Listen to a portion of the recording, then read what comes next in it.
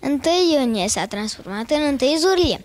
Toate personajele din Gașca Zurli fac astăzi de ziua copilului un adevărat maraton al distracției cu trei spectacole. Toate biletele s-au epuizat în câteva zile, iar așteptările copiilor sunt foarte mari. La sala Palatului se află reporterul nostru, Andrei, care ne dă mai multe detalii. Bun găsit, Andrei!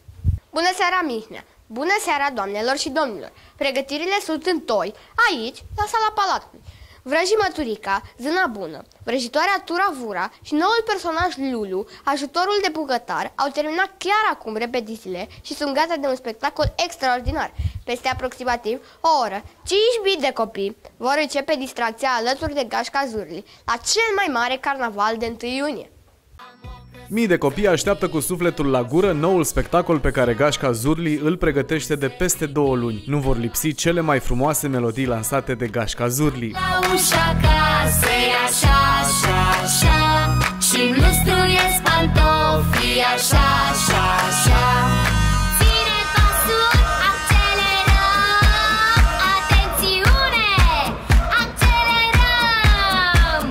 Părinții și copiii vin în Zurlandia pentru a face cunoștință cu noul membru al echipei. Bucătărașul Zurli, cel care îi învață pe cei mici să mănânce sănătos, a primit un ajutor. Lulu este numele lui și va arăta la carnavalul de 1 iunie ce poate. Urmează o nouă zi memorabilă în care se construiesc amintiri din copilărie și în care copiii vor cânta și vor dansa alături de personajele preferate.